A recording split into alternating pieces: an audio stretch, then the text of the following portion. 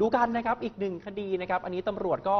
ไปติดตามจับกลุ่มนะครับ หลังมีพ่อค้าออนไลน์ อันนี้ขายอาวุธปืน ขายเครื่องกระสุนปืนออนไลน์นะครับ เปิดขายผ่านทาง Facebook ก็จับกลุ่มผู้ต้องหาได้ 2 คนค่ะแต่ตำรวจเชื่อว่าน่าจะมีผู้ที่เกี่ยวข้องมากกว่านี้ ของการที่ตรวจยึดนะครับ เดี๋ยววันนี้พาไปดูกันเยอะมากๆนะครับ โดยทางตำรวจนะครับกองบังคับการสายตรวจ และปฏิบัติการพิเศษนะครับพลตำรวจตรีสุรเชษฐ์หักพาน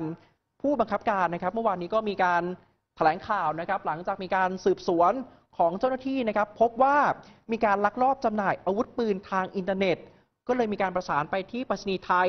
จนสามารถจับกลุ่มผู้ต้องหาสองคนด้วยกัน คือนายมนัสสอนศรีชัย กับนายปิยชัยเรืองศาสตร์นะครับ ก็คือทั้งคู่นี่มีการจำหน่ายอาวุธปืนบีบีอะบีบีการดัดแปลง อาวุธปืนสั้นไทยประดิษฐ์ แล้วก็มีเครื่องกระสุนปืนด้วย นอกจากนี้ยังมีอุปกรณ์นะครับที่เขาใช้ดัดแปลงอาวุธปืนขายกันใน Facebook ราคาที่ขายนะครับเริ่มตั้งแต่ 6,000 บาท ไปจนถึง 15,000 บาท แล้วก็มีแหล่งที่ตั้งนี่หลายพื้นที่นะครับทั้งที่อุบลราชธานี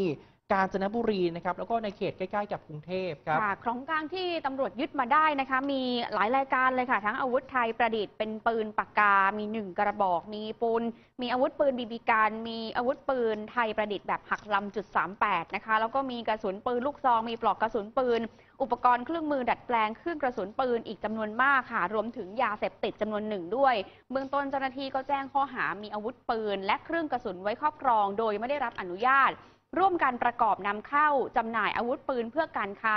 โดยไม่ได้รับอนุญาต มียาเสพติดให้โทษประเภทที่ 1 2 5 ก็คือยาไอซ์กระท่อมและยาบ้าไว้ในครอบครอง โดยไม่ได้รับอนุญาต จากการสอบสวนยังพบว่าผู้ต้องหาสองคนมีความเชื่อมโยงกับเครือข่ายค้าอาวุธปืนออนไลน์ ที่เจ้าหน้าที่เคยจับกลุ่มได้แล้วก่อนหน้านี้นะคะ ก็จะมีการขยายผลแล้วก็ติดตามจับกลุ่มผู้ต้องหาที่เหลือต่อไปค่ะ อืมครับก็อยากฝากเตือนไปถึงคุณผู้ชมด้วยนะครับไม่ใช่แค่คนขายอย่างเดียวที่ผิดนะ ค่ะคนที่ไปซื้อนี่ก็ผิดเหมือนกันนะครับ ยังไงก็ถ้ามีข้อมูลนะครับเพราะว่ามีการค่ะ ขายอะไรที่มันผิดกฎหมายทางอินเทอร์เน็ตนี่แจ้งตำรวจนะฮะ ค่ะ